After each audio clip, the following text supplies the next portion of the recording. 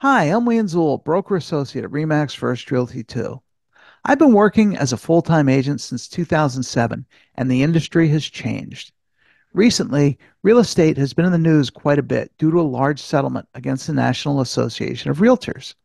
What impact does this settlement have for buyers?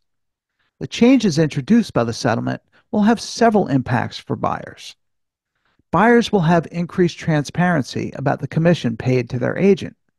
While this has been the case in New Jersey, it must now be negotiated up front before previewing any homes. Since the settlement removes the MLS requirement for brokers to post offers of compensation to cooperating brokers, the buyer's agent will need to obtain what commission is being offered, if any, and communicate that to the buyer. With compensation no longer being displayed, there could be shifts in how buyers' agents operate. Some agents might focus more on finding homes where sellers offer compensation, while others might require buyers to cover the commission costs directly. This could affect which properties buyers are shown, depending on the approach that they have agreed to with their agent. Buyers will now need to negotiate exactly how they will compensate their agent. In New Jersey, there are several ways, including a percentage of the price, a fixed amount, or any other legal method of compensation.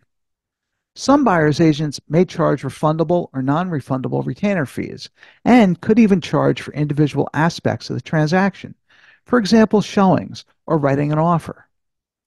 Over time, it's possible that these changes could lead to increased competition among agents for buyers, potentially resulting in better service as agents work to earn business by offering better services in a more transparent market. However, this might also lead to more costs passed on to buyers if sellers are less inclined to offer compensation to the buying agent. The downside of this is that if a buyer needs to come up with the funds to compensate their agent, their buying power may be reduced.